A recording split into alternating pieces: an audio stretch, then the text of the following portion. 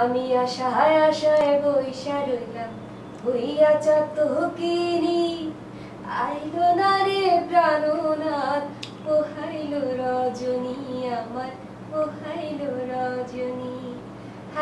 সানিয়া রমা আমি আসছি আগামীকাল বিকাল সাড়ে পাঁচটায়। আর যে সাইমুরের উপস্থাপনায় স্বদেশ টিভি অ্যান্ড রেডিও স্বদেশে।